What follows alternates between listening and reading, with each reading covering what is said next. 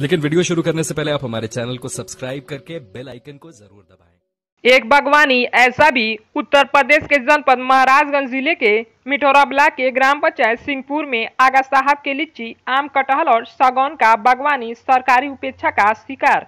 यूँ तो उत्तर प्रदेश की विविधतापूर्ण जलवायु सभी प्रकार की बागवानी फ़सलों के उत्पादक के लिए उपयुक्त है।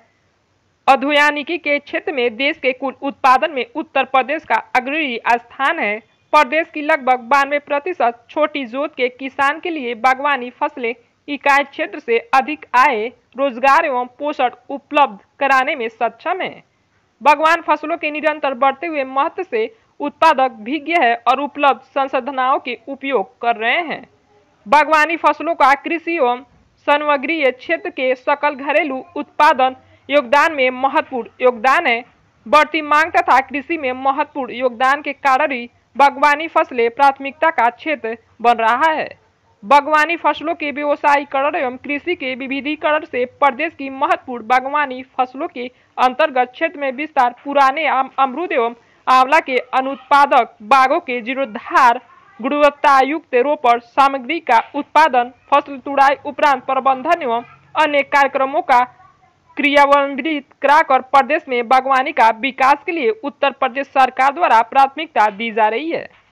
उद्यान एवं खाद्य प्रसंस्करण विभाग उत्तर प्रदेश द्वारा प्रदेश फल शाक भाजी आलू, पुष्प, मसाले, औषधि एवं सगंध, पौध, पान विकास के साथ साथ सहायक उद्यम के रूप में मान पालन, मशरूम उत्पादक खाद्य प्रसंस्करण पान की खेती के लिए विभिन्न योजनाओं को क्रियान्वित कर सत्तम विकास हेतु प्रयास किए जा रहे हैं। प्रदेश में एकीकृत बागवानी विकास मिशन ड्रिप स्पिकलर सिंचाई की स्थापना, औषधि पौधे मिशन अनुसूचित जाति, जनजाति, बहुमूल्य क्षेत्रों में बागवानी विकास, राष्ट्रीय कृषि विकास योजना एवं खाद्य प्रसंस्करण के क्षेत्र में मानव संसाधन विकास हेतु कार्यक्रम का क्रियान्वयन किया जा रहा है। परंतु उत्तर प्रदेश सरकार के दावे खोखले साबित हो रहे हैं। जनपद का सबसे बड़ा बागवानी लगभग पंद्रह हेक्टेयर में फैला हुआ, जिसमें लगभग 600 पेड़ लीची 100 पेड़ आम 25 पेड़ कटहल तो वहीं 3000 पेड़ सौगौन के लगे हुए हैं। बागवानी का देखभाल करने वाले रमाशंकर चौधरी ने बताया कि आगा साहब बहुत लगन से बाग को तैयार किए हैं। हमारे देख रेख में हर वर्ष लाखों रुपए खर्च होते हैं। उसके हिसाब से फ़ायदा बहुत कम होती है।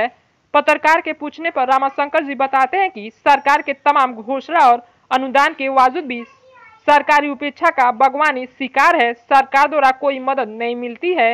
ऐसे में हम अपने संसाधनाओं से बागवानी का देखभाल करते हैं। कहाँ? क्या नाम है आपका कहाँ और कहाँ रहते हैं?